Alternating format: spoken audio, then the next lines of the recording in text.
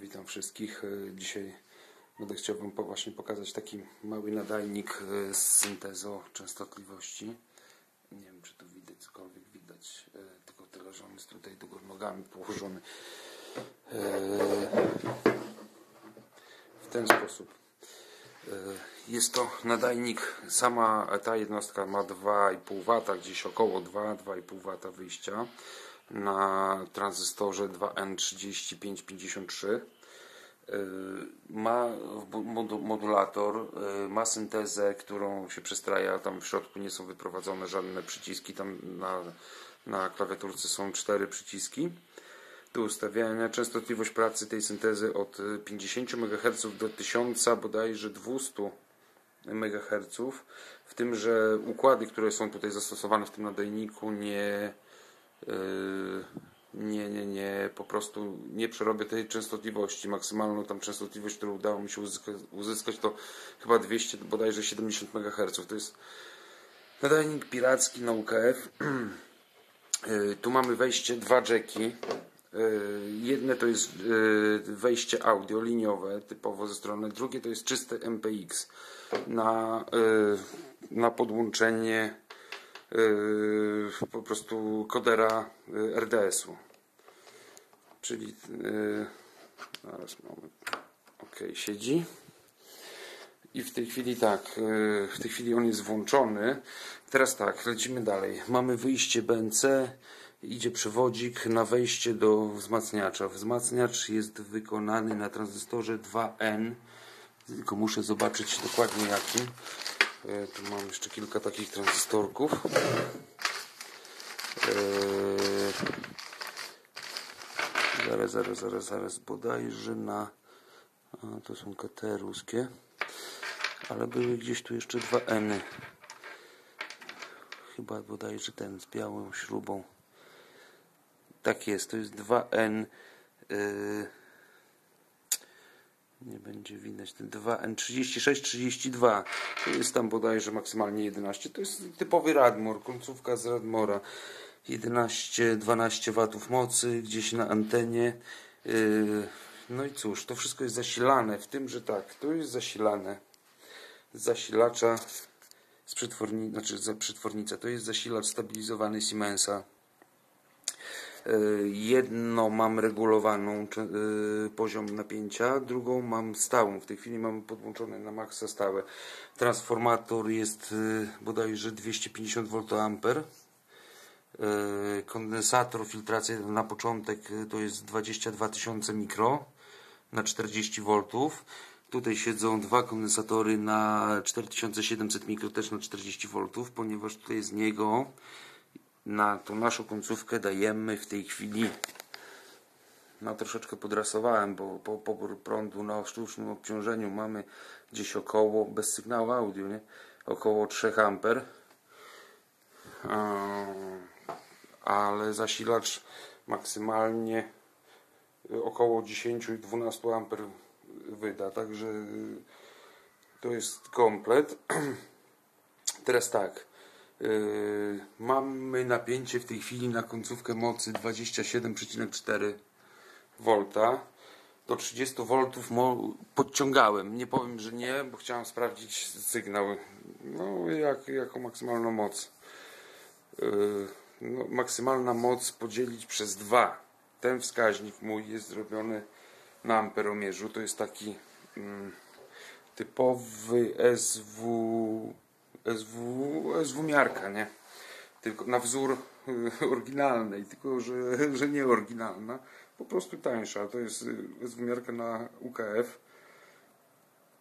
Y, Ona ma podziałkę po prostu przystosowaną, znaczy ja ją zestroiłem z oryginalnym miernikiem i to dobrej klasy, tylko tyle, że przez dwa, nie? Poziom mocy przez 2, ponieważ on ma tutaj od 0 do 60, no to mamy w tej chwili wskazówka stoi na sztucznym obciążeniu 40 W, czyli mamy 20 W na wyjściu. Z, tej, z tego tranzystora da się to uzyskać. Nie wszyscy to mówią, że nie. Jak widać daje się. Filtr do od harmonicznych jest e, troszeczkę też przerobiony, bo, bo, bo to, ta końcówka w ogóle była już dwa razy przerobiona. Raz było na 2 metry przerabiana na 144, a w tej chwili jest odstrojona na 80, bodajże od 80 maksymalnie stroi do 100, 120 tam bodaj z kawałkiem, nie? W tym, że filtr PC obcina idealnie przy 100 MHz. Fu, PC ale że walną, tu nie ma pośredniej częstotliwości, to jest stopień PA, filtr Pi obcina przy 100 MHz, także y, w tej chwili nawet syntezę mam tak ustawioną, że 89,9 y, y, ponieważ to jest puste pasmo u nas, przynajmniej u mnie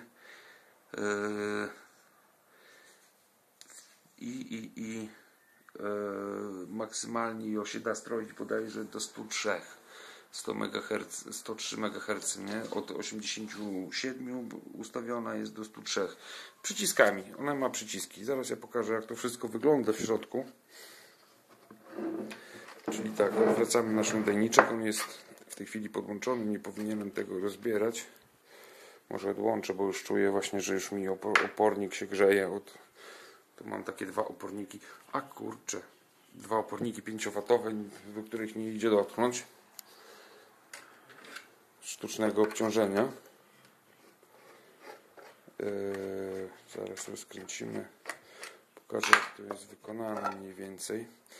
A więc tak, tu mamy płytkę syntezy.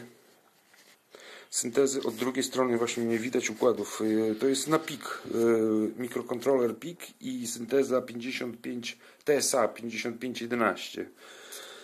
Tu mamy zasilacze, stabilizatory napięcia bo, bo po prostu zasilam z tego samego źródła, czyli tam z 30 V. Tu są dwa stabilizatory. Jeden jest na oddzielny y, na, na, oj, na modulator, drugi jest y, na stopień końcowy tego małego nadajnika. Tu mamy właśnie stopień końcowy tego nadajnika jako driver. Eee, oj, patrz, nie chce mi się ostrój złapać z takiej odległości. Hmm. No co jest? Może takowo najwyżej ktoś powiększy. Ja powiem co to jest. To jest BF257, w tym, że z literko S. On właśnie przynosi do 100 MHz, ale przynosi więcej.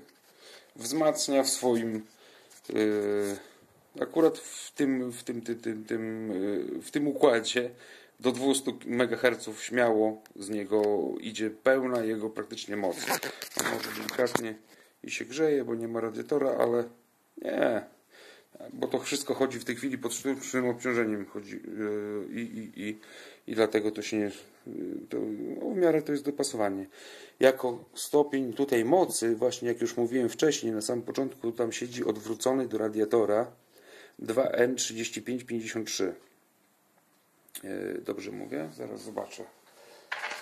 To są takie tranzystorki. Yy, tak, 2N3553 Motorola z derko M. E, tutaj był, był, miał być montowany na KTF wzmacniacz, ale e, po prostu w wersji amatorskiej e, w tej samej obudowie to się wszystko zaczyna wzbudzać. Jest podciągnięta linia, to jest specjalnie zrobiona cewka właśnie dopasowująca do anten, do kabla 75 ohmów, bo może ktoś właśnie się zapyta, dlaczego ja mam 75 ohmów? Ponieważ dipol stroi na 70 antena 72,5 ohma można śmiało podpiąć troszeczkę delikatnie się robi grze, grze, się grzeje tranzystorek mocy ale praktycznie cała instalacja, którą tutaj posiadam mam 75 ohmów. Czyli tak, mamy syntezę. Tu mamy wykonany modulator jest to generator i mieszacz Tfu, generator i modulator na diodach od drugiej strony są diody nie wiem dlaczego, mam strasznie właśnie, nie mogę złapać ostrości z małej odległości. Yy. I teraz tak, yy, tu mamy cewkę, tą główną generatora. Nic nie będę dotykał, bo on teraz pracuje. Yy, może to ładnie się odstroić nam, albo pójść zaraz tranzystor, bo chodzi na 120% praktycznie. Nie no, maksymalna jego moc strat to jest 23 W. Mi się udało uzyskać z niego, no nie powiem 20 watów, no 19,5 jak rozkręcone są obudowy. Ale zaraz to poskręcamy wszystko, także dobra, wyłączam zasilanie, bo faktycznie mam ekrany pościągane, a może dlatego i o, ostrości mi kamerka nie łapała. A jak? dlatego kamerka ostrości nie łapała. Mm, No dobra. E, Mamy tak. Modulator od drugiej strony jest na tej płytce. Generator tutaj widać tą cewkę taką rozciągniętą. Ten fakt, że tu nie ma żadnych zabezpieczeń, ale jest grubym drutem zrobiona, także nic nie dzwoni. Zresztą nikt tego nie, nie rzuca podczas pracy. I są dwa tranzystory separatora. Jeden separator, drugi jako przedwzmacniacz. I- ten tranzystor yy, odseparowuje po prostu, yy, żeby tam nic się nam nie zmieniało w generatorze. Obojętnie co byśmy podłączyli już tutaj na wyjściu, to już mamy też wyjście kablem antenowym, tylko że 50 ohm. Yy, Przylotkę do drivera już, nie? Jest w ten sposób zrobione, że z tego tranzystora przez opornik e, o tu, ten opornik siedzi na bazie tego drugiego tranzystora, e, przez ten opornik jest e, pętla PLL zrobiona do syntezy. E, I, i, i e, a ten drugi odseparowuje już to wszystko i wysyła sygnał na driver. Z drivera na ten stopień mocy wyjściowej to gdzieś około 2-2,5 W maksymalnie z niego się, się uzyska. To ma 7 W strat ten tranzystor. E, No i co? Trafia to wszystko na antenę. Tak jak już mówiłem, wchodzi na driver. Niestety, e, no, niestety, tutaj w sumie to nawet nie wiem jaki dokładnie driver. Mam wszystkie schematy tej końcówki tego wszystkiego dokładne. E,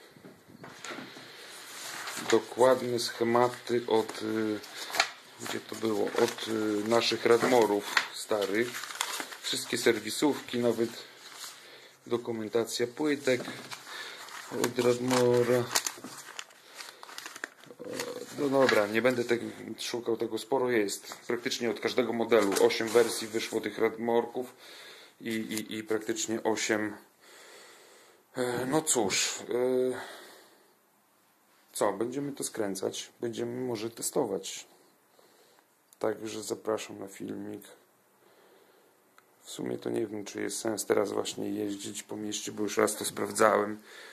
To powiem tak, z anteny 20 cm na dachu samochodu, jest takiego krótkiego gumowego bata, zasięg 20 km bez nawet najmniejszego szelestu. Zaraz pokażę z jakiej anteny. Antenę mam zamontowaną tu. Jedną tu, drugą mam na dachu. Tu jest taki mały dipol z pętlą właśnie dopasowującą z balunem 75 ohmów. Z tej antenki nie wiem czy to będzie widać, może wyjdę. O, o taką ona jest. O. Ta antenka jest dopasowana na częstotliwość 100 MHz, a nadaje na 90, nie? Znaczy na częstotliwość 90, sorry, a na 89,9 nadaje. Yy, odbierałem tutaj, sprawdzałem czy nigdzie to nie sieje, także te filtry fajnie wycinają od 100 MHz, właśnie filtry fajnie wy- odcinają. No i dobra. Wracamy do naszego nadajnika. Mamy wyłączone zasilanie, możemy go poskręcać.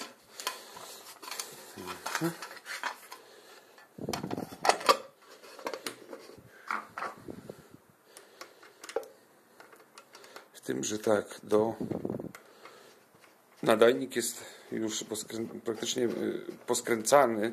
Mamy wszystko do tego stopnia mocy. Jest to obudowa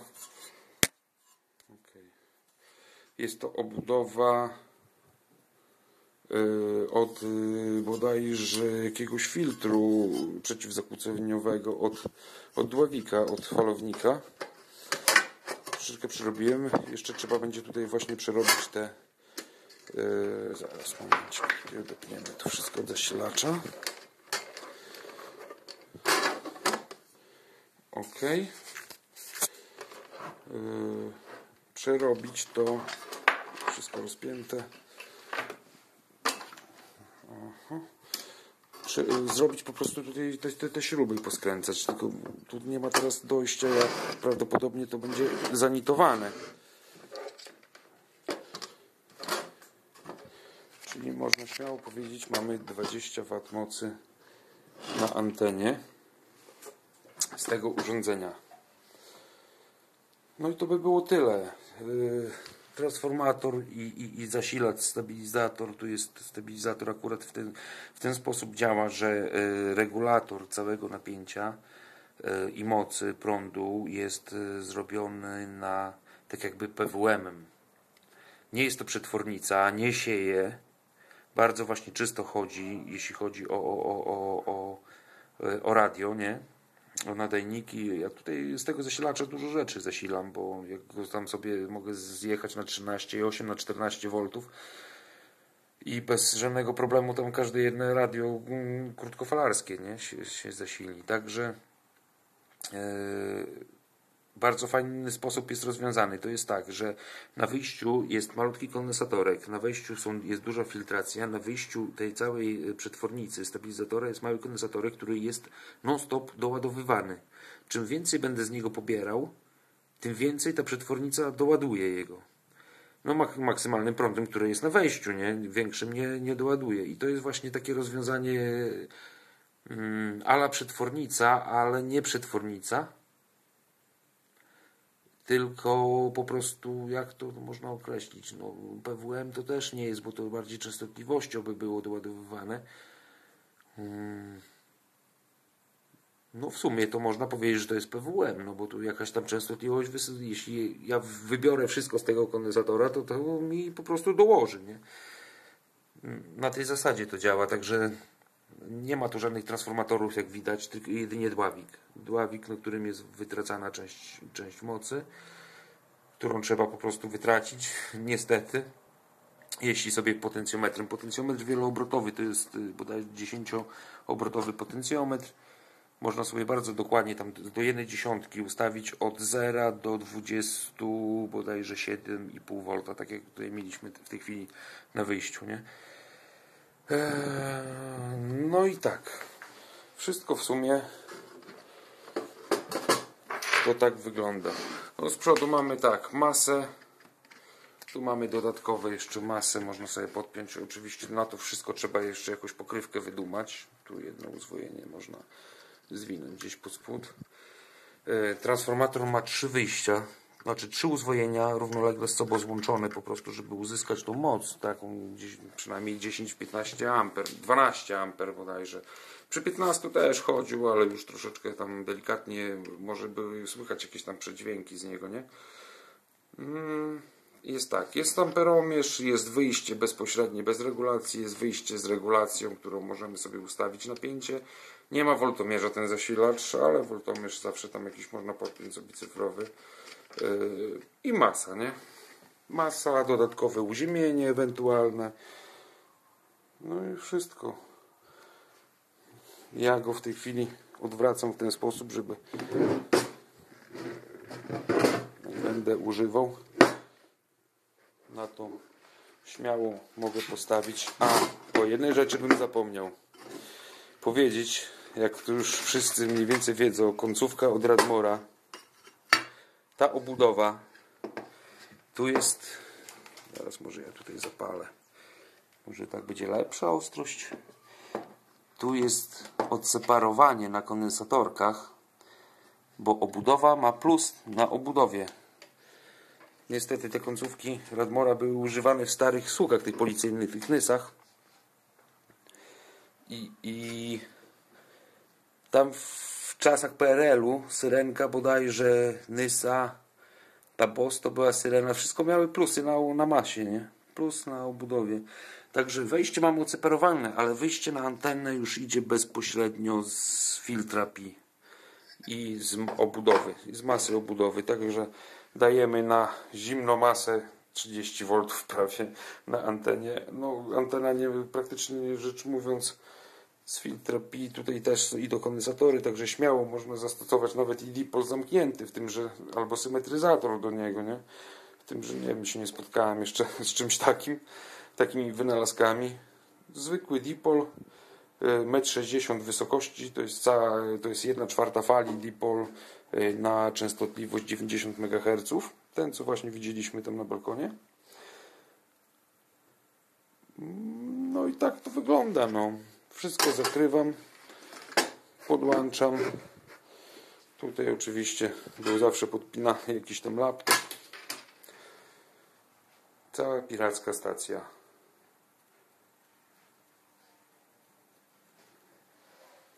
Cena do uzgodnienia.